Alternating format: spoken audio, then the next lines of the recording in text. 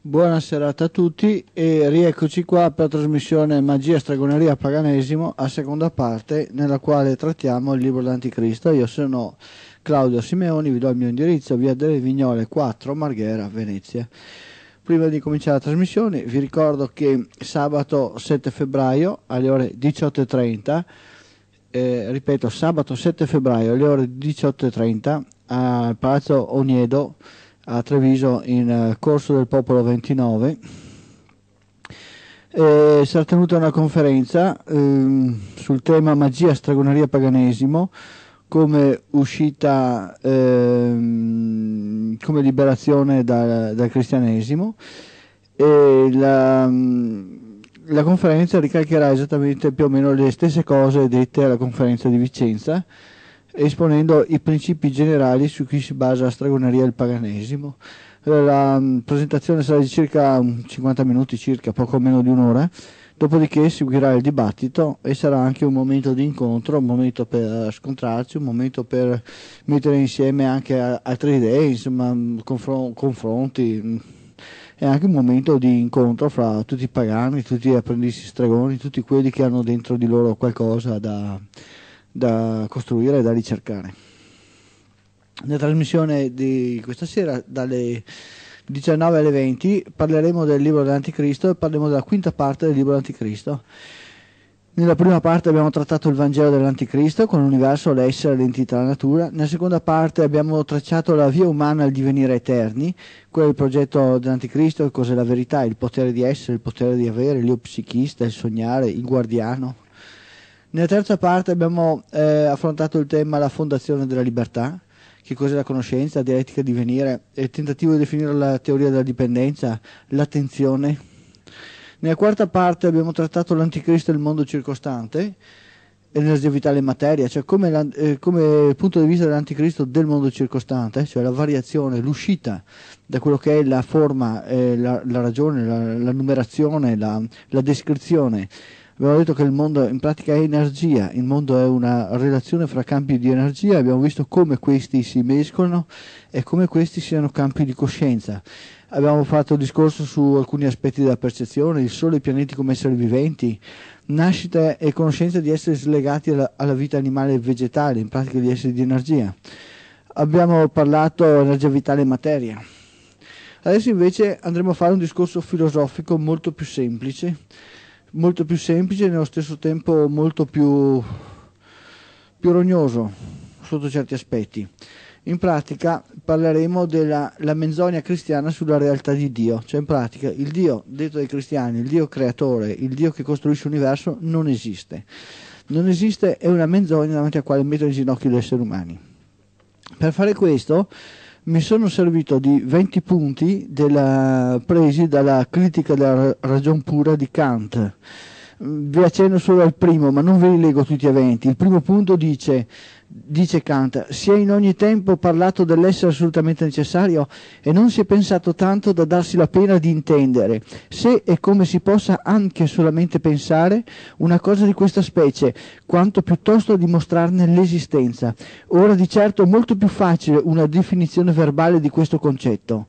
Chi cioè esso sia qualche cosa il cui non essere è impossibile, ma non questo, non se ne sa niente di più circa le condizioni che rendono impossibile considerare come assolutamente in, impensabile il non essere di una cosa e che sono precisamente quel che si vuole sapere, ossia se questo concetto possiamo eh, eh, ossia se questo concetto pensiamo qualche cosa o no in pratica eh, non si può pensare all'essere assolutamente necessario, non si può pensare eh, la, mm, il, il, creatore, cioè il, il, il, Dio creatore in quanto non esiste, però accanto a questo non, non interessa, lui gli mm, interessa mettere l'accento sul fatto che non si può pensare all'esistenza di un Dio creatore, cioè per lui come cristiano non riesce a vedere come si possa pensare a un Dio creatore, è una cosa assurda impossibile. Bene.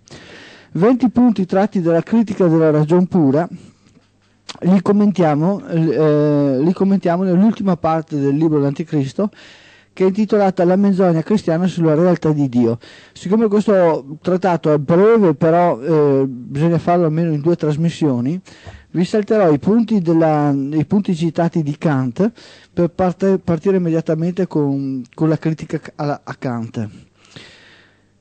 Eh, la premessa di questo pezzo dice questo. Anche se sarebbe bene trascrivere tutto il resto, mi permetto di estrarre una serie di brani della critica alla ragion pura di Kant, attraverso i quali egli affronta le prove del concetto dell'esistenza di Dio poste dalla filosofia al servizio del comando sociale. La teologia spicca nella repressione, eh, la teologia spiccia della repressione, usava il terrore biblico, ma per i filosofi era molto diverso. I discorsi dovevano essere molto più raffinati ed elastici. Quando Kant scrive la critica alla ragion pura, il cristianesimo si trova a dover fronteggiare l'illuminismo avanzante. Due anni dopo la seconda edizione della critica alla ragion pura scoppierà la rivoluzione francese. Il terrore biblico perde consistenza e il cristianesimo, più o meno inconsciamente, cerca nuove prove dell'esistenza del suo Dio o di un Dio qualsiasi per riprendere il controllo sul sistema sociale. La critica kantiana, a mio avviso, rappresenta il punto più alto di resistenza del cristianesimo, dove la sublimazione giunge a dimostrare la non esistenza delle prove, ma contemporaneamente la non esistenza di non prove, assolvendo così il Dio eh, di fronte al tribunale della storia. Egli stesso, dopo aver demolito le prove dell'esistenza di Dio, salva la fede in Dio trovando la sua ragione di essere nell'impossibilità di dimostrare, attraverso il condizionamento della ragione, la non esistenza di Dio. Da ricordare, è importantissimo questo da ricordare, il termine dialettica usato da Kant è diverso da come lo uso io. Per lui dialettica è usato alla aristotelica, cioè è articolazione del parlato. Per me, invece, il termine dialettica rappresenta l'interazione numenica, cioè l'interazione degli oggetti, cioè il riversarsi dell'uno nell'altro e l'altro nell'uno di due oggetti o fenomeni venuti a relazionarsi. È importante perché io uso il termine dialettica alla marxiana, non all'aristotelica e sono due, due, modi di usare il termine dialettica molto diversi. Eh? Questa è la premessa. La critica è questa, io faccio un po' di pagine di lettura, dopodiché mi fermerò a 10 minuti circa alle, 6, alle 8 e accetterò le telefonate se qualcuno vuole telefonare e comunque farò altri discorsi e finirò la lettura la prossima volta. Dopodiché eh, vi presenterò un altro libro, non so esattamente quale, ma penso o Il Sentiero d'Oro o Ciò che porta a diventare eterni nella religione romana. Vi risparmierò per il momento Gesù di Nazareth e l'infamia umana. Eh, oppure passerò direttamente all'NDE, il libro sulle esperienze di premorte, vedremo comunque, ci penserò eh, poi.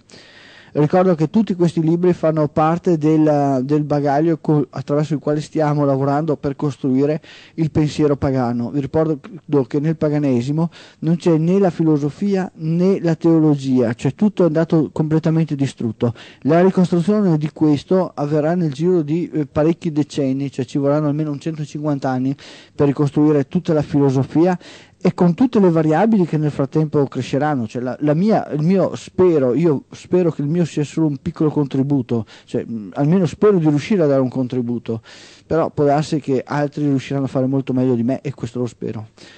Questa è la critica kantiana o parte di essa, all'apparato con cui la religione cristiana si apprestava ad affrontare l'avanzata dell'illuminismo in Europa. Questa critica e quello che seguì poi con l'avvento del materialismo tesero a ridicolizzare dimostrando l'inconsistenza delle dimostrazioni fino ad allora utilizzate nelle disquisizioni filosofiche sull'esistenza dell'essere creatore, al di là dell'apparato terroristico o rivelato della Bibbia.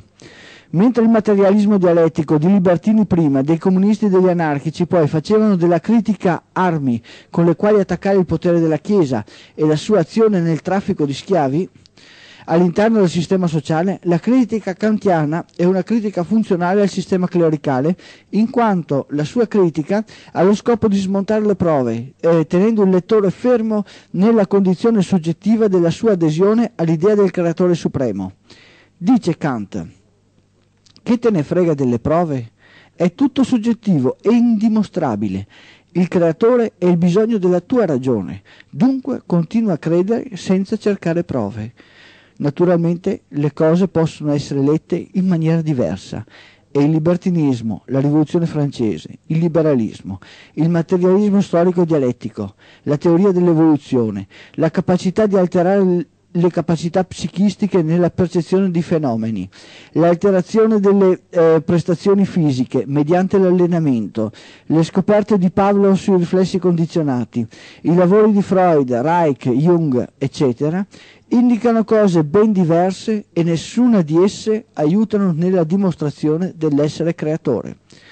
Si può obiettare che sia facile al giorno d'oggi opporsi alle prove filosofiche dell'esistenza dell'essere creatore con tutti gli elementi raccolti dalla scienza e da metodi di lavoro sconosciuti fino a un paio di centinaia d'anni fa. Certo, sembra facile bastonare il can che annega, ma ricordate quando costoro bastonavano il cane che faticos- faticosamente si trascinava verso la riva della conoscenza? Ricordate i roghi innalzati a sberleffo della libertà di pensiero? Ricordate le teorizzazioni nell'uso della tortura a chi non aderiva ciecamente al loro piacere di terrore? Perché aver pietà del cane che annega, quando la via attraverso la quale giunse nel fiume è cosparsa di lacrime e sangue di interi popoli? Quando gli adoratori di dei creatori sono impotenti? O non stanno forse già tramando per armare nuovi eserciti, attraverso i quali rispargere sangue e terrore per riprendere il dominio e il commercio di schiavi? Che forse la loro morale i loro principi, le loro leggi non sono sempre le stesse ispirate agli stessi principi biblici. Forse che rinunciarono a piegare le ginocchia davanti a un dio assassino e non è forse quell'assassino a cui si riferiscono quando si identificano. Concordia e libertà di culto dicono quando sono deboli. Inginocchiatevi ed obbedite alla nostra morale, dicono quando sono forti. Se per le genti è sempre più comprensibile l'aberrazione del Dio biblico, molto prag- pragmatico nelle azioni e nei bisogni, più sfuggente e sottile è il Dio dei filosofi. A nulla serve ridurre all'impotenza il Dio biblico se non si strappa il dente velenoso dalla bocca del Dio dei filosofi.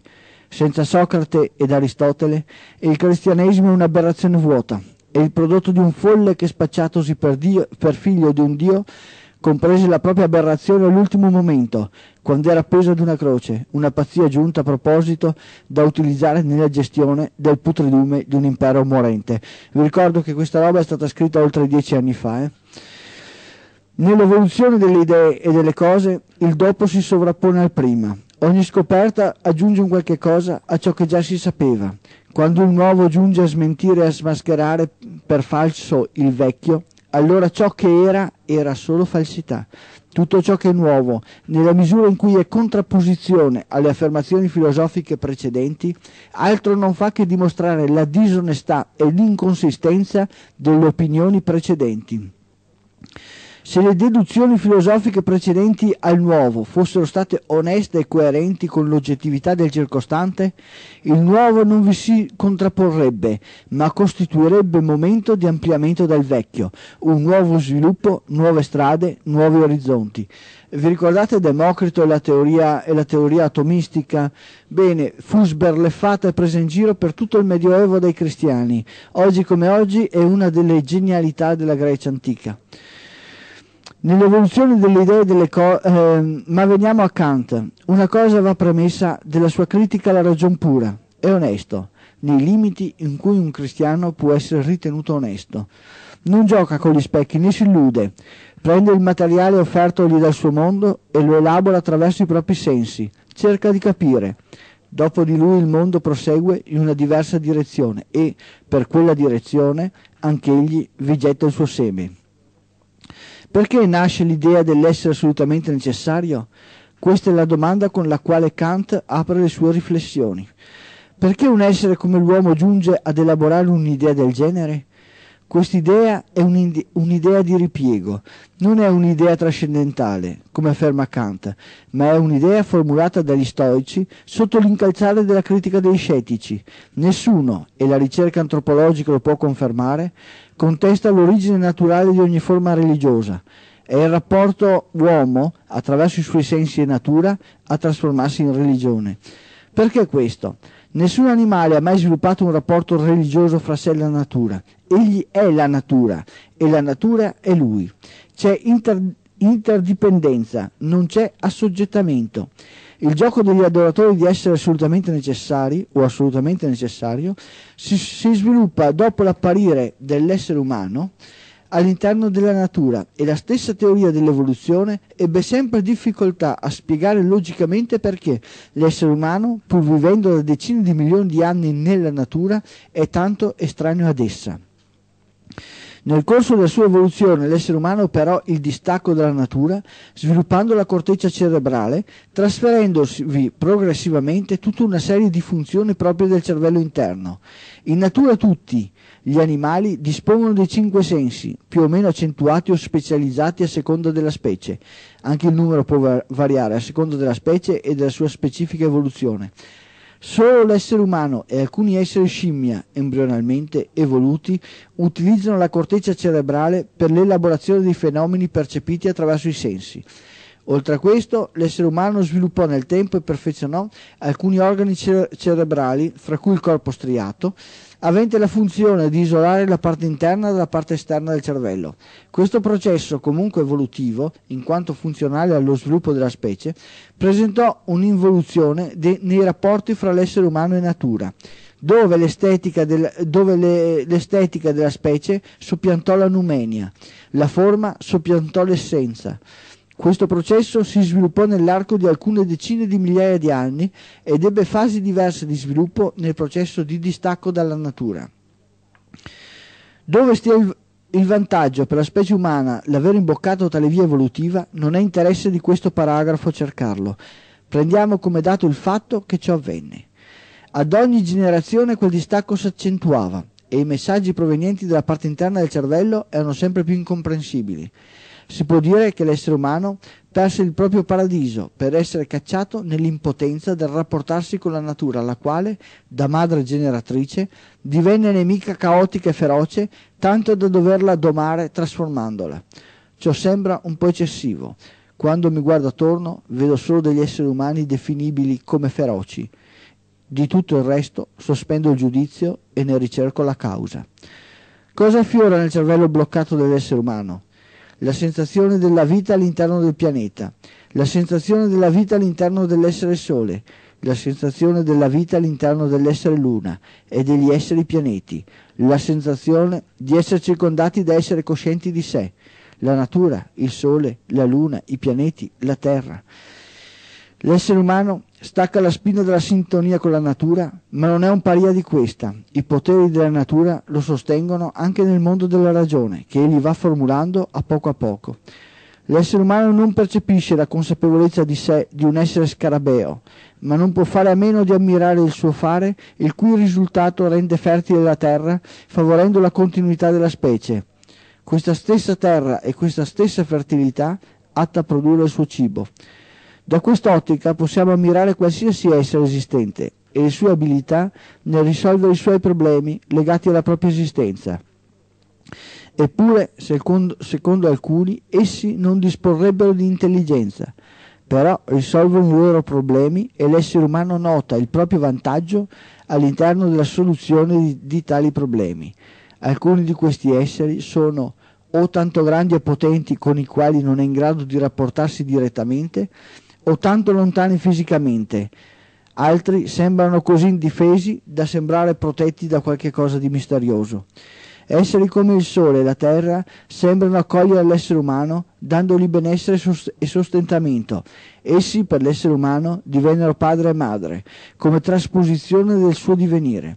L'essere umano, se da un lato trasferendo l'elaborazione dei messaggi provenienti dai sensi terminati sulla corteccia cerebrale e rafforzando la barriera del corpo striato si allontanava dalla percezione numenica del circostante, perciò che, dall'altro, attraverso la ragione, cercava di capire il mondo circostante e i suoi meccanismi attraverso l'analisi della forma estetica e trasponeva i meccanismi compresi dal quotidiano al microcosmo e al macrocosmo. Il rapporto con la natura diventava paura e sudditanza nei confronti dei fenomeni, impotenza nell'affrontarli, e quelle paure divennero dei dominatori dopo che l'essere umano divenne Dio, dominatore di esseri animali, disarmati prima, e di altri esseri umani poi. Egli traspose tutto questo, Tutto questo gli venne ritorto contro da altri esseri esistenti ne- nella natura, composti di sola energia vitale, nei confronti dei quali l'essere umano divenne cieco da quando sviluppò la corteccia cerebrale. Pur percependo i messaggi provenienti attraverso la parte interna del cervello che qualche volta passano attraverso il corpo striato, l'essere umano non era in grado di verificarne la forza e la consistenza. Questo non è dimostrabile, come è dimostrabile la presenza di un tavolo. Non posso andare per strada a dire al primo individuo che incontro ecco, questo è l'essere di sola energia vitale. Come minimo mi prenderebbero per matto, come dovrebbe essere per chi gira a parlare di un essere assolutamente necessario o di un Dio creatore. Posso dimostrarlo solo chi riesce a sfondare, sia pur parzialmente, la barriera del corpo striato. Posso inoltre cercare la tradizione di presenze spiritiche, follettistiche, in ogni tradizione popolare o ogni religione dell'intero pianeta. Però esistono delle condizioni, sia pur parziali, per cui posso dire questo è un essere di sola energia vitale mentre non esiste nessuna condizione, a proposito lo dicono anche i cristiani quando vedono la Madonna, mentre non esiste nessuna condizione per cui qualcuno possa dire questo è Dio creatore o l'essere assolutamente necessario. Non è possibile, anche se è difficile dimostrare ad un cieco una forma che non può comprendere nelle proprie mani. L'essere umano traspose tutto questo sentendosi in balia di forze non controllabili e da meccanismi sconosciuti. Ma se il padrone conosceva più cose del servo, certamente un altro padrone, a lui inaccessibile, conosceva, sapeva, faceva. Doveva dunque ingraziarsi di tali forze, le quali come lui pensavano, come lui mangiavano, come lui facevano l'amore, come lui generavano. Prima fu, il sole, prima fu al sole, alla terra, alla luna alle stelle, ai fenomeni della natura, che l'essere umano chiese benevolenza perfezionandosi la struttura del comando sociale e dovendo questa estraniarsi dal sistema sociale da dominare, anche gli esseri della natura prima presero forma umana, poi da molti divennero uno, per modo di dire, visti i tanti semidei di cui si circonda il Dio dei cattolici, per diventare infine impersonabile, imprescrutabile, essere incondizionato, assolutamente necessario una costruzione per sovrapposizioni dell'ignoto quale garante del comando sociale divenne idea trascendentale a priori. Si dimenticano i passaggi, le trasposizioni, l'idea dell'essere incondizionato necessario passa di bocca in bocca, di generazione in generazione. Le sue dimensioni crescono, gli aggettivi riferiti sono sempre assoluti, tutti devono inchinarsi a tanta magnificenza, tutti devono inchinarsi davanti al comando sociale da esso legittimato. Il nome dell'essere assolutamente necessario dell'esercito vincitore viene esaltato. Nella polvere il nome dell'essere assolutamente necessario dell'essere sconfitto. Chi portò l'esercito alla vittoria? Il proprio essere assolutamente necessario. Lodate, lodate, lodate. Ma che cosa? Il controllo del comando sociale sul sistema sociale degli esseri umani. Staccato dalla società degli uomini diventa pensiero puro e si discute sul pensiero puro stesso. Donde derivò tale pensiero? Dalla religiosità innata dell'essere umano, risponde il comando sociale. No, dall'incapacità di padroneggiare il proprio divenire, risponde la, la natura. Folli bestemmiatori, Dio vi punirà, ma leggi, galere, torture e roghi, Dio non ha la forza di innalzarli. La forza c'era solo chi fa degli esseri umani carne da lavoro. Dove sono i predicatori di forza e di onnipotenza del vostro essere assolutamente necessario? Egli è onnipotente, egli è onnisciente, ma quale miserevole fi- fine costui farebbe se non fosse sostenuto da eserciti, leggi e costrizioni? Come può essere pensato o descritto quest'essere? Se lo penso come realtà suprema, non so se esista. Non posso conoscerlo a posteriori, non rientra nell'ambito dei sensi, nel quotidiano della ragione. Pertanto non è possibile scambiare il concetto dell'essere assolutamente necessario con l'essere supremo. Dunque posso pensarlo solo come categoria pura. Nessuna meraviglia che non posso fornire nessun carattere per distinguerla dalla semplice possibilità, dice Kant. E qui spiazza tutti. Vi ho fregato, dice Kant, vi ho tolto l'essere supremo dai sensi, l'unica cosa da voi posseduta per percepire i fenomeni degli oggetti ma dal momento in cui vi sottraggo l'essere assolutamente necessario e l'infilo nelle idee pure, voi potete solo pensarlo, ma non misurarlo né criticarlo. Ma se l'essere assolutamente necessario è solo un'idea pura, questa è la riprova della sua non esistenza, come Babbo Natale.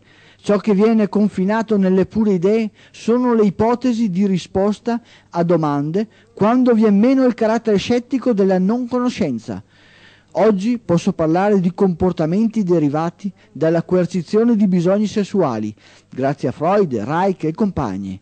Kant non era in grado di far ciò. Per lui quei comportamenti, come del resto tutta la psicologia, altro non erano che movimenti dell'anima, comportamenti ed idee oggi empiriche, sia pur nella diversa articolazione delle impressioni, per Kant entravano nel trascendente e nelle idee pure.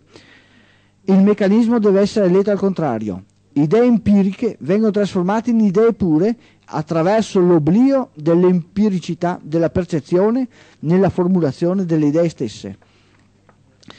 La necessità pragmatica nell'affrontare il quotidiano tende a mettere da parte lo scetticismo del giudizio rispetto a determinate soluzioni di problemi pensati, descritti, per sostituirlo col giudizio di necessità. Il giudizio di necessità, tramandato di generazione in generazione dal comando sociale, diventa l'unico giudizio relegando nell'oblio sia la soluzione che il problema descritto. Il giudizio di necessità si trasforma attraverso il condizionamento educazionale, diventando soluzione e risposta alla quale il sistema sociale deve inchinarsi. Se una cosa esiste, esiste anche l'essere assolutamente necessario. Questo è un accostamento arbitrario e, risponde Kant, la minore contiene un'esperienza, la maggiore un'illazione, da un'esperienza in generale all'esistenza del necessario. Ma è molto di più, è un'operazione scorretta e disonesta. Assolutamente necessaria è la cosa, non l'essere. È l'esistere della cosa a rendere questa necessaria a sé, non il suo riflesso nell'essere. Gli adoratori di dei mettono se stessi al centro dell'attenzione dell'universo e sopra di essi il loro Dio, dal quale traggono avvallo per le loro proposizioni. Ignorano o vogliono ignorare gli oggetti, il comportarsi con i quali determina il loro esistere. Non solo, ma negano l'esistenza in sé di quegli oggetti dei quali non sono in grado di percepire la struttura per farli esistere in funzione dei propri bisogni. È sofismo, afferma Kant. Quando un concetto vuoto viene circondato da centinaia di aggettivi assoluti, attraverso i quali innalzare una cortina fumogena con cui occultare la vuotezza e l'inconsistenza di un, con- di un concetto, è sofista. La forza del concetto in questo caso sta nella suggestione autoipnotica indotta attraverso la ripetizione a critica degli aggettivi. Il condizionamento educazionale passa attraverso la criticità delle condizioni subite dai soggetti subalterni al comando sociale. Attraverso il fumo degli aggettivi il nulla prende forma gigantesca e terrifica, diventando l'essere assolutamente necessario agente primo dell'alimentazione di paure e impotenze. D'altro canto, D'altro canto la questione dell'essere supremo si taglia la testa alla, eh, d'altro canto con la questione dell'essere supremo si taglia la testa alla soluzione di ogni problema di ogni questione. Non potendo dire l'essere assolutamente necessario è questo qui, ogni volta in cui una questione rimane sospesa appare la soluzione nella, appare la soluzione nella volontà di Dio, disarmando così ogni volontà di ricerca. Quando il sole era il Dio, gli esseri umani, ammirando il piacere derivante dal suo calore, a lui attribuivano ogni interferenza nella natura, dalla quale traevano soddisfazioni nell'appagamento dei propri bisogni. Essi potevano dire l'essere assolutamente necessario è questo e indicarlo. E non sbagliavano. Il riferimento da essi assunto erano i loro bisogni, che attraverso l'azione di quell'essere venivano soddisfatti Quell'essere non interferiva nelle azioni umane, se non indirettamente, attraverso la natura, attraverso il proprio esistere.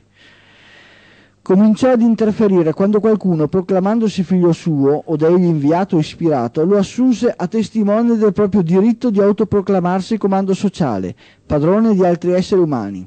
Oggi il Sole è considerato la stregua di una palla di fuoco e l'essere umano, una macchina da lavoro, dimentichi dell'esistenza di sé, dell'esistente, Perché dunque non allontanare l'essere assolutamente necessario nel buio dell'infinito della ragion pura, lontano dalla percezione dei sensi?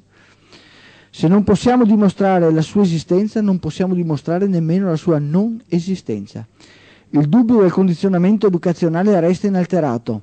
Non avendo elementi per non credere, tanto vale credere. Che ti costa, dice il comando sociale a chi vuole sottrarsi al gioco dell'adesione, ad una concettualità il cui scopo è quello di impedire agli esseri umani di afferrare nelle proprie mani il destino della propria vita, anziché abbandonarsi all'illusione dell'essere assolutamente necessario, di cui sarebbe espressione il comando sociale dal quale fa derivare la propria autorità ed onniscienza.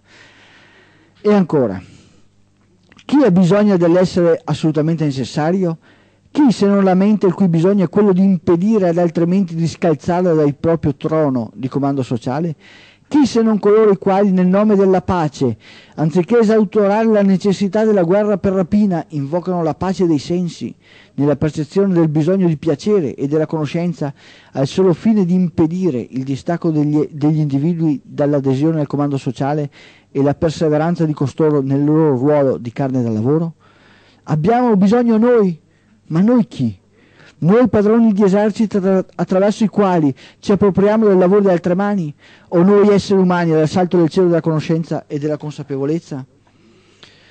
Noi, pregando l'essere assolutamente necessario affinché soccorra i nostri bisogni insoddisfatti? O noi, dalle mani sporche di fango e grasso, per soddisfare i nostri bisogni?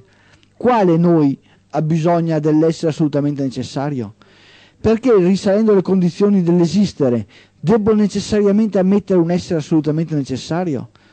Ciò parte dal presupposto per cui la mia mente, il mio pensiero, è in grado di descrivere le condizioni attraverso le quali fu prodotto l'esistente e, una volta pensate e descritte tutte le condizioni, io risalgo all'essere assolutamente necessario dicendo ecco, questo è l'essere assolutamente necessario. Io dovrei negare ogni valore allo scetticismo dal momento in cui la mia mente può pensare tutto l'esistente fino a giungere all'essere assolutamente necessario. Se seguo a regresso le condizioni, non giungo alle determinazioni dell'essere assolutamente necessario, ma giungo alla presenza di altre condizioni e la determinazione oggettiva della mia esistenza mi permette di supporre la limitazione oggettiva delle condizioni raggiunte nel regno dell'attuale esistere. Tagliare la testa nel risalire le condizioni attraverso l'affermazione assoluta dell'idealità pura, dell'essere assolutamente necessario, diviene oggettivamente resa al tentativo di risalire al regresso le condizioni. E ancora, perché per le cose esistenti devo pensare a qualche cosa di necessario, ma non sono in diritto di pensare nessuna cosa in sé come necessaria? Chi determina tale diritto? Posso affermare una cosa come risultato di cause o non cause e posso ammettere tale causa o, o con cause come necessarie ai fini della cosa, ma non posso ammettere l'impossibilità di quella cosa in sé, in quanto a sua volta diventa causa o con causa di altre cose. Essa stessa diventa necessità nelle catene delle cause ed effetti. Il fatto di voler togliere alle cause e agli effetti la propria determinazione consente lo spostamento della volontà dalla parte dell'essere assolutamente necessario. Tale spostamento è arbitrario e disonesto, perché il fatto stesso che io possa scegliere fra più cose nella soddisfazione dei miei bisogni, questa scelta, anziché un'altra, dà il via ad una catena di cause ed effetti anziché un'altra catena. Ciò vale per l'azione di ogni oggetto in sé non solo posso, ma debbo pensare le cose come oggetti in sé, in quanto la loro esistenza rispetto a me è l'atto ultimo di una specifica catena causa-effetti rivolta al futuro. Ed è Kant ad ammettere tutto questo quando ammonisce la ragione dal trovare scorciatoie, cioè di non fermarsi mai se non ad una spiegazione a priori completa, salvo poi costruire il compromesso nel quale afferma, in sostanza, di investigare nella natura e nelle cause tenendo presente il primo necessario e solo per mettere ordine nella nostra conoscenza seguendo tale idea, ma non prete- prete- eh, prendere nessuna determinazione come assolutamente necessaria. Ottimo escamotage, finalizzato al salvataggio di capre cavoli. Qui interviene la critica dei filosofi dell'antichità i quali eh, soffermavano il loro giudizio sul necessario attribuendolo alla materia. La ragione, secondo Kant, non è legata all'esistenza della materia, in quanto la ragione può sopprimerla attraverso il pensiero, il quale rappresenta la necessità assoluta. Nella misura in cui Kant fosse in grado di dimostrare l'esistenza del pensiero in quanto ente o oggetto a sé stante e non come fenomeno o espressione di una particolare organizzazione della materia. Non solo, ma se non vado errato, gli antichi filosofi greci consideravano quattro elementi, l'acqua, l'aria, il fuoco e la terra, mentre i cinesi vi aggiungevano il legno e non mi ricordo su un altro um, elemento, forse il metallo. In altri termini, non consideravano semplicemente la materia, ma all'interno di essa anche l'energia rappresentata dal fuoco. Il pensiero altro non è che un particolare rapporto fra materia ed energia in una particolare organizzazione all'interno della ragione. Kant potrebbe mantenere il proprio concetto se il pensiero, inteso come pensato, avesse una propria dimensione e una propria individualità, oggetto in sé, in sé anziché fenomeno specifico dell'oggetto. Anche quando parlo di esseri luminosi o di esseri di energia vitale, non mi riferisco mai a pensiero puro, ma ad una particolare concentrazione di energia vitale organizzata in modo tale da mantenere compatta la propria coscienza di essere. In altre parole, potrei parlare degli esseri luminosi come esseri composti da stadi diversi della materia, come posso parlare di corpi fisici come composti da stadi diversi di energia. È un errore comune quello commesso da Kant, errore derivante dalla concezione del suo tempo, derivata dalla teoria gnostica del primo pensiero del demiurgo, fatta proprio dal cristianesimo attraverso la quale tende a spiazzare tutti i critici dello stesso. Il pensiero come ente in sé assolutamente necessario, dunque il primo pensiero come essere assolutamente necessario. Oggi noi sappiamo essere il pensiero organizzazione sinapsica delle cellule del cervello e sappiamo pure del rapporto dialettico esistente fra percezione della realtà e organizzazione sinapsica, fra organizzazione sinapsica e percezione della realtà. Dunque il pensiero è fenomeno di un oggetto, non è oggetto in sé, tantomeno assolutamente necessario, in special modo per l'esistenza dell'essere umano. Accettando per valida accettando per valida l'eccezione comune secondo cui gli animali sono privi di pensiero, essendo questa una facoltà prettamente umana e considerando come gli animali abbiano la capacità di affrontare e risolvere tutti i problemi legati alla loro sopravvivenza, esistenza ed evoluzione, anche spesso al variare delle condizioni oggettive, possiamo considerare il pensiero come mero esercizio mente, della mente, togliendogli ogni valore nobilitante, cogito ergo sum, attribuitigli negli ultimi paia di migliaia di anni. Insiste ancora Kant quando la natura, egli dice, non può essere considerata di uso empirico, a meno che noi non vi poniamo a fondamento l'idea di un essere realissimo come causa suprema. L'idea di questo, egli dice, nasce nel suo pensiero. Continua poi. D'altra parte, noi vediamo una catena di effetti e di cause, di fini e di mezzi, eccetera. Ebbene, questa concezione è prettamente di origine ebraica, nella quale l'essere assolutamente necessario con un colpo di bacchetta magica crea la natura e mette ordine nel mondo.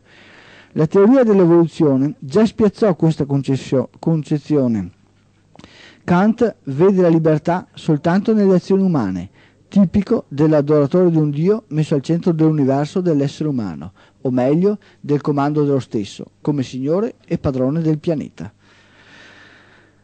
Gli oggetti non sono pure rappresentazione dei sensi, ma sono oggetti in sé, i quali, a seconda delle specificità, esercitano la libertà sotto forma di libero arbitrio, il quale è adattamento soggettivo alle variabili oggettive. Le cause o concause producono effetti, questi a loro volta diventano cause o concause di altri effetti, e non diventano cause o concause di altri effetti ancora in quanto la scelta del loro adattamento dischiude ed esclude altre scelte. La libertà, si può affermare, implica scelte coscienti, valutazioni e queste sono prerogative dell'essere umano. Errore. E con questo errore io mi fermo un attimo solo. Molto bene, arrivati a questo punto io fermo la lettura del libro dell'Anticristo anche perché è un po' pesantina questa parte e la finisco la prossima volta che finirò il libro dell'Anticristo. A proposito di Kant, quando io vi ho parlato del potere di essere e del potere di avere, anche Kant aveva individuato il potere di essere e il potere di avere. Vi leggo dalla critica della ragion pratica di Kant, in cui dice, dice Fontenelle, davanti a un gran signore io mi inchino, ma non si inchina il mio spirito.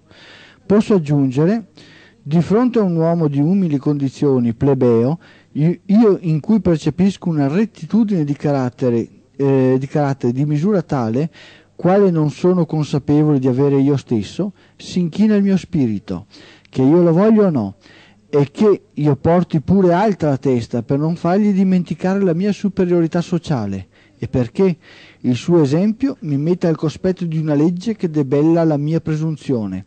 Se la confronto col mio comportamento e di cui vedo da, davanti a me, dimostrata dalla realtà in atto l'osservanza e quindi la fattibilità. Ora posso essere persino consapevole di un grado uguale di rettitudine mia, il rispetto tuttavia rimane. Infatti, poiché nell'uomo ogni bene è sempre manchevole, la legge, resa visibile da un esempio, debella pur sempre il mio orgoglio, e l'uomo che vedo davanti a me, le cui pecche da cui può sempre essere afflitto, non mi sono note come le mie, e che quindi mi appare in una luce più pura, me ne offre un criterio. Praticamente cosa dice in questo coso Kant? Dice che eh, le persone possono anche essere nobili, ma io eh, questo non vengo meno mio, al mio stato sociale, cioè il mio stato sociale è una cosa, la nobiltà d'animo delle persone è un'altra. In realtà eh, Kant ha osservato che esiste un potere di essere e un potere di avere, un potere di essere che è dato dalla nobiltà dell'animo di cui egli parla. E un potere di avere che è data dalla condizione sociale che una persona occupa, che una persona preme. Naturalmente il potere di essere e il potere di avere non sono soltanto questi, il potere di essere e il potere di avere si esprimono con ben altre sfaccettature però è importante riuscire a comprendere come il potere di essere e il potere di avere sono due modi attraverso i quali affrontare la realtà. Il potere di essere implica sempre lo sviluppo del soggetto, implica sempre lo sviluppo dell'individuo, implica sempre la negazione di qualsiasi superiorità all'individuo stesso. Cioè l'individuo nella misura in cui incontra qualcosa che gli è superiore, che è più abile, che è più bravo, che è più nobile, che è più bello di quello di cui lui dispone, cessa di disporlo e cerca di appropriarsi di ciò che è migliore. Per cui esiste sempre una dilatazione e uno sviluppo dell'individuo sulle persone, è appropriazione delle persone, è costringere le persone a eh, farle funzionare per se stesse. Il potere di avere deve necessariamente appropriarsi delle persone e deve costruire un sistema di pensiero, un sistema ideologico per cui le persone vengono appropriate. E da qui nasce l'idea dell'essere assolutamente necessario che si appropria di tutto. Cioè praticamente tutte le persone vengono messe in ginocchio davanti a un'idea vuota, a un'idea inesistente, a un'idea puramente inventata per uno scopo preciso, cioè quello di distruggere dentro di loro il potere di essere e poter uti- essere utilizzate per fini diversi da quelli che sono i loro bisogni. Questo è il, senso di quello che abbiamo, letto, che abbiamo letto oggi. In pratica non esiste nessuna prova che esista l'essere assolutamente necessario o il Dio creatore però tutta una, una, serie di personaggi hanno lavorato per costruire prove eh, ve ne potrei dare un elenco di queste prove nella filosofia che sono, mm, che sono tantissime. Una di queste è l'anselmiana. Penso il mondo, dunque il mondo esiste, che è veramente una, un nonsense. Um, oppure la prova in base alla contingenza del mondo, che deve dipendere da un essere non contingente ma necessario. Cioè praticamente, siccome il mondo esiste, il mondo decade, il mondo si trasforma, deve essere qualcosa sicuramente che non decade. oppure ehm, la prova sui diversi gradi di perfezione, cioè siccome io non sono perfetto, io faccio schifo, non so poi chi, chi affermi che se stesso fa schifo, sicuramente esiste qualcosa di perfetto mh, mm, che mi ha costruito e non ci si pensa minimamente che invece proprio il fatto di voler migliorare, il fatto di voler crescere, il fatto di voler svilupparsi porta a pensare che esista un miglioramento continuo, un miglioramento che porta a qualcosa. Oppure ancora, dal momento che l'universo è in armonia, eh, c'è sicuramente una causa che mantiene l'armonia. Dunque c'è un Dio, cioè c'è questo Dio che tiene l'armonia nell'universo. Non si capisce bene perché prima faccia i pesci e poi il mare, o prima, o prima fa, il ghia- eh, fa, i pesci e dopo il ghiaccio, insomma, o fa il ghiaccio che galleggia in modo da non danneggiare i pesci. Cioè non, si, non ci si rende conto che l'armonia dell'universo è data dalla relazione fra le cose, dove non c'è armonia, dove c'è disarmonia, c'è un collasso, c'è uno scontro, c'è uno scoppio. La non armonia porta allo sviluppo della contraddizione.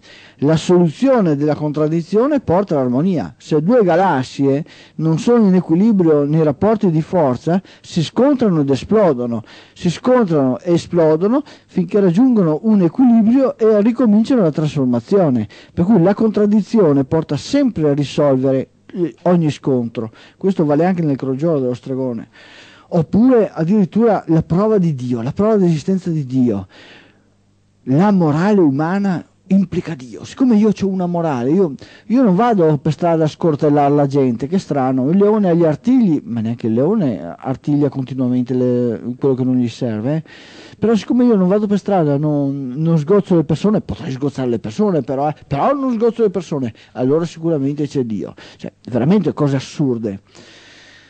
Mm, andiamo ancora... Mm, l'anselmiano, vabbè, penso Dio, dunque Dio esiste. Cavoli, io penso che esiste Dio, dunque siccome io lo penso, Dio esiste. Cioè, io penso Babbo Natale ed esiste sicuramente Babbo Natale. Questo è un fatto santo questo. Oppure Cartesio, l'idea di perfezione che non può venire da un essere imperfetto, necessariamente deve venire da Dio. O, o, o Agostino, Agostino, bellissimo, l'idea di necessario fondamento attraverso la constatazione di idee e verità eterne e necessarie. Allora, siccome esistono eh, idee, verità eterne e necessarie, sicuramente c'è un filo conduttore che è Dio. Cioè, non è che gli uomini hanno due gambe, due braccia, una testa, devono mangiare tutti i giorni, per cui devono costruire comportamenti per mangiare tutti i giorni, devono muoversi in quel modo, devono riprodursi in quel modo. No, questo non esiste. Che c'entra questo l'uomo? Che cos'è l'uomo? L'uomo è una bestia, insomma, per, per Sant'Agostino. Infatti, eh, quello che scrive è proprioso. Sicuramente dice c'è Dio. Cioè, questa è la prova che esiste Dio. Oppure da Aristotele, si muove dunque qualcuno, cioè Dio, lo fa muovere. Cazzo, incredibile. Cioè, siccome io non riesco a capire cosa una cosa lo fa muovere, sicuramente quella cosa è stata fatta muovere da Dio. Cioè, è veramente folle. Cioè, ci rendiamo conto che Aristotele ha addestrato Alessandro Magno, insomma, cioè questo, questo qua che è diventato famoso solo per ammazzare gente. E questo è, siccome chi è che ha fatto muovere Alessandro Magno a massacrare mezza gente e andare in giro a conquistarsi mezzo mondo, che poi non sapeva neanche cosa farsene oltretutto, è sicuramente Dio a questo punto, non c'è altro. Ha pure anche il principio, il principio di causa efficiente.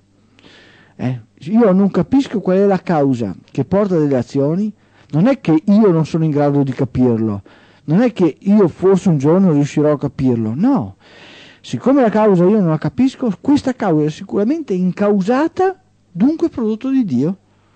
Cioè, ricordatevi che quello che vi sto dicendo adesso sono tutte le prove che sono state portate per l'esistenza di Dio, per l'esistenza di quest'essere assolutamente necessario.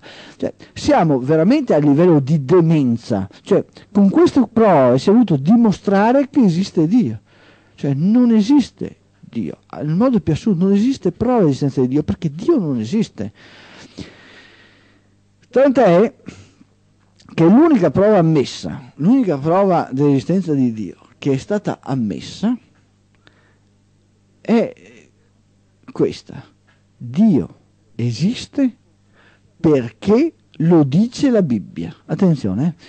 la Bibbia dice che esiste Dio, dunque Dio esiste. Siccome la, la, Bibbia è un libro ispirato da Dio, sicuramente Dio esiste. Cioè, non so se vi rendete conto.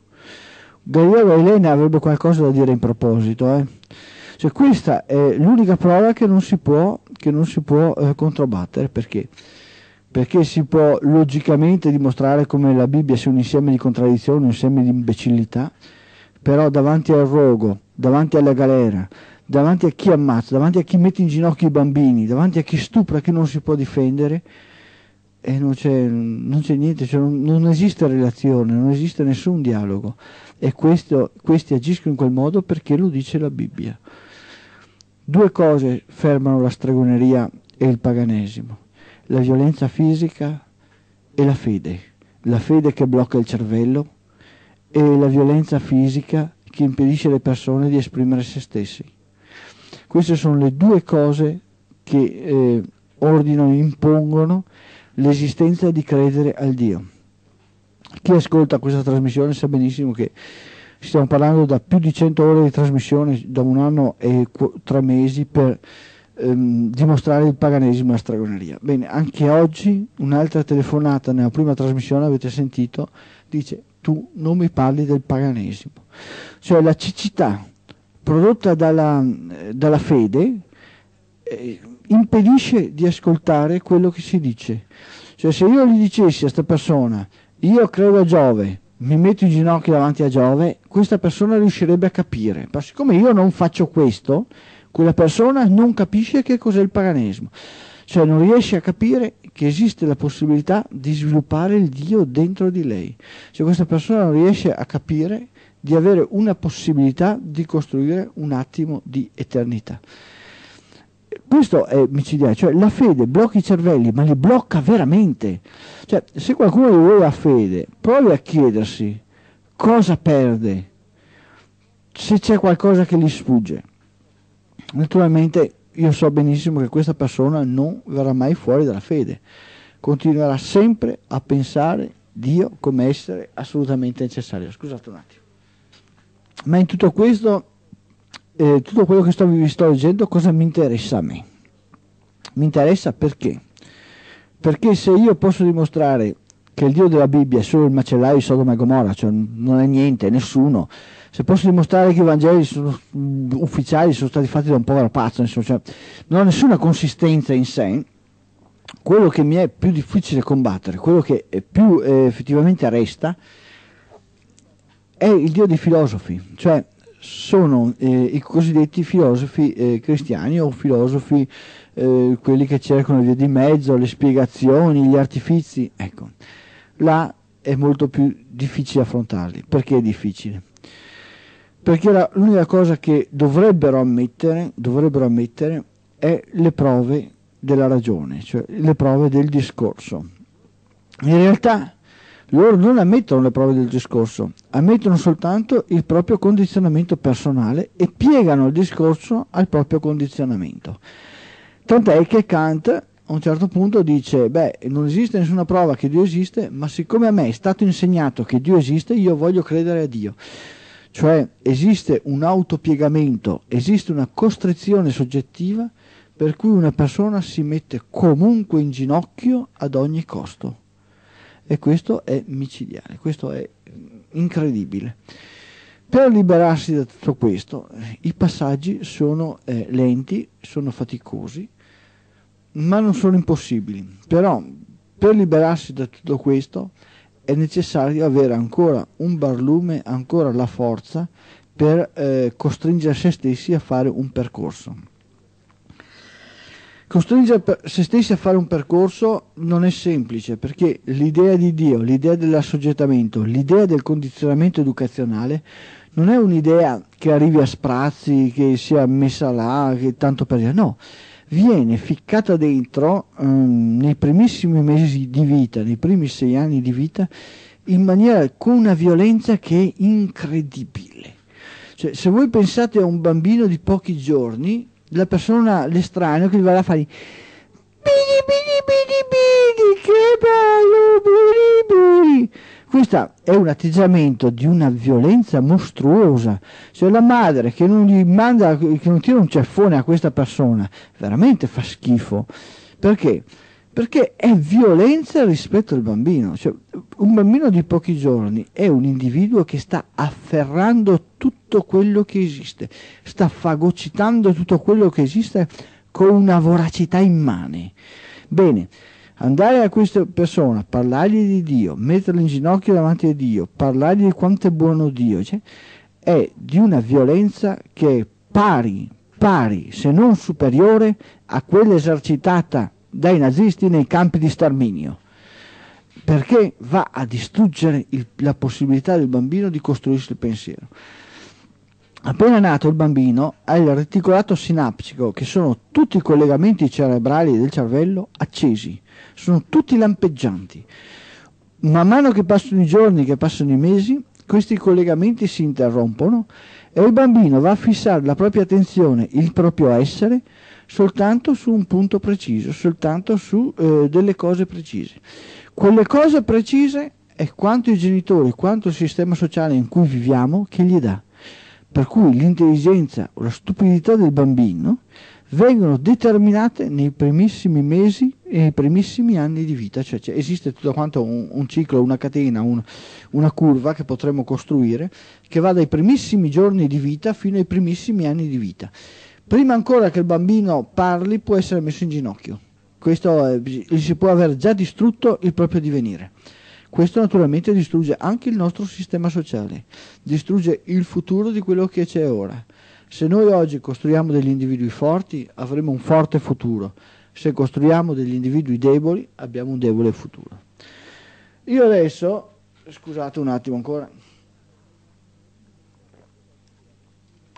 io adesso dovrei chiudere la trasmissione perché dovrei aver finito, però qui ragazzi io non li vedo. E allora,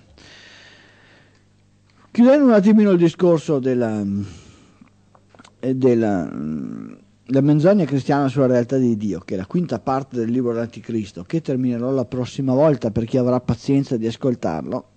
Cioè, non è che cambia molto, eh? il, i tempi e i ritmi sono quelli.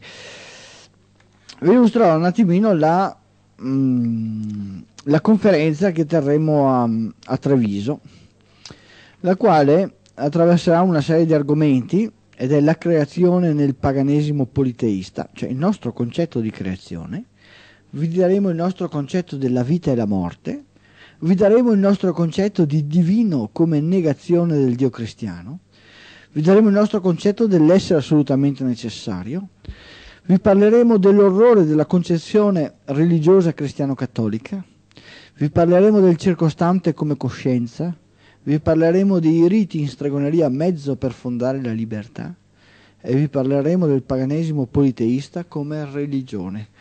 Vi esporremo nel giro di un'ora circa il nostro pensiero eh, a grandi linee, però sufficiente per costruirsi un'idea. Chiaramente se qualcuno viene a pensare che noi vi diciamo mettiti in ginocchio, questo non esiste, cioè, mh, mm, questa è una cosa che non esiste. Se qualcuno viene pensando di sentirsi dire invece di adorare Tizio adora Caio, questa è una cosa che non esiste. Se qualcuno invece viene per cercare spunti, per sapere cosa effettivamente pensiamo e quali sono le prospettive, questa persona avrà, eh, avrà questi, questi dati e queste cose.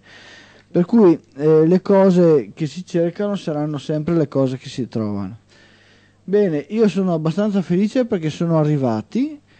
Eh, io chiudo qui la trasmissione. Vi ricordo che io sono Claudio Simeoni, via delle Vignole 4 Marghera, che lavoro insieme all'Istituto Mediterraneo di Studi Politeisti, casella postale 53 Marostica Vicenza.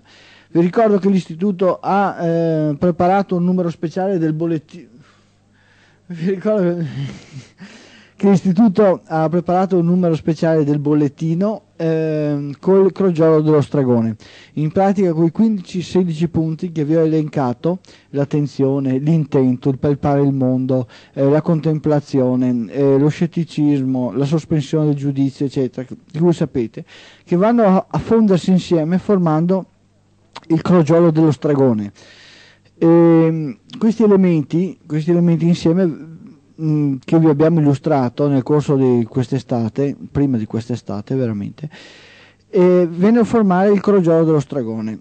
Questo eh, elaborato dall'istituto diventa un bollettino, un bollettino interno che viene dato a richiesta, cioè chi lo richiede, non fa altro che chiederlo all'Istituto Mediterraneo Studi Politeisti, ripeto l'indirizzo, Istituto Mediterraneo Studi Politeisti, casella postale 53 Vicenza, e viene fuori questo numero che verrà, che verrà presentato anche in conferenza, insomma in conferenza ci sarà un banchetto con tutte le cose nostre sopra per cui uno può anche passare di là scusate, e dare un'occhiata sul, sulle cose che noi usiamo, che stiamo lavorando per costruire la, il pensiero pagano, la filosofia pagana, la teologia pagana. Ehm, questo noi dalla prossima trasmissione, invece nelle trasmissioni normali, parleremo di due cose fondamentali. Prima di tutto faremo un elenco di alcuni principi che abbiamo tirato fuori dai paganesimi di cui abbiamo parlato e in secondo luogo inseriremo eh, da quei principi tireremo fuori gli altri due aspetti, i due canti del mondo che ci mancano e insieme andremo a inserire il crogiolo dello stragone un po' alla volta nei quattro canti del mondo cioè la stragoneria come arte di vivere, come arte di affrontare la vita, come arte di affrontare il mondo. Mentre facciamo questo, io sto lavorando ancora per preparare altri due lavori che porterò avanti più avanti, che uno è il crogiolo del male, cioè come si eh, distrugge il divenire delle persone e i metodi usati per distruggere il divenire delle persone pur non trattando gli aspetti più orrifici della cosa, di cui mi rifiuto, come mi sono rifiutato di trattare gli effetti più orrifici del cristianesimo, del cattolicesimo, pur non trattando questo, tratterò del, eh, di tutti i sistemi normali per mettere in ginocchio gli esseri umani e come questi vengono messi in ginocchio e come si forma la fede, cioè se i cristiani stanno pensando, eh, stanno ascoltando, eh, nel crogiolo del male, cioè come si, si, costruisce dentro il bambino, dentro la persona, la fede in un Dio salvatore. Un altro lavoro che sto portando avanti con un po' alla volta è invece una, um, è un'analisi di alcune cose esistenti in una stregoneria sconfitta, che è la stregoneria agnostica e prendendo eh, lo spunto da questo andremo ad analizzare, finita questo tipo di analisi, i, i paganesimi che sono quelli dei mh, mm, i paganesimi misterici, gli Eleusini, i riti di Demetra, gli riti di Adone, eh, non tanto i riti in sé, eh, dionisiaci, non tanto il rito in sé, che mi interessa abbastanza poco, eh, ma andremo a analizzare quelli che sono i principi e cosa questi hanno portato e cosa portavano, di cosa erano portatori e come si eh, manifestava questo pensiero che andavano portando. Per cui questi sono i lavori che sono, che sono in questo momento in corso, ce ne sono un altro paio ma sono abbastanza limitati e collaterali questi lavori che un po' alla volta presenterò eh, trasmissione dopo trasmissione e che chi vuole ascoltare ascolterà, chi vuole so, discuterne ne può discutere sempre. Vi ricordo che io normalmente a sera sono quasi sempre disponibile, insomma se qualcuno vuole telefonare non c'è nessun problema. Insomma. Bene, io qua adesso chiudo la trasmissione perché mi hanno fatto cenno di andare avanti un altro po', però io reggo fino a un certo punto dal momento che sono un apprendista stregone non sono mandrache.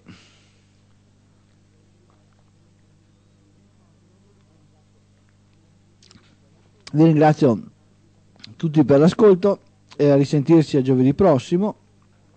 Vi ricordo ancora che il giorno 7, il giorno 7 febbraio 1998 nel Palazzo Oniego a Treviso, in corso del popolo 29, alle ore 18.30 verrà svolta la conferenza di magia, stregoneria e paganesimo ehm, come liberazione dall'assoggettamento cristiano, adesso il titolo mi sta sfuggendo in questo momento che non ce l'ho sotto mano, ehm, l'ingresso è libero, tutti possono partecipare, e dopo un'esposizione verrà fatto il dibattito, nel dibattito non ci sono preclusioni, a parte quelle di legge che non ci si può prendere a pugni, eh, si può chiaramente usare qualsiasi tipo di linguaggio, qualsiasi che si desidera, non c'è problema.